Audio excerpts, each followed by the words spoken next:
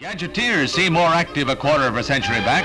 Witness this combination police revolver and movie camera invented by O.W. Atkins of Los Angeles.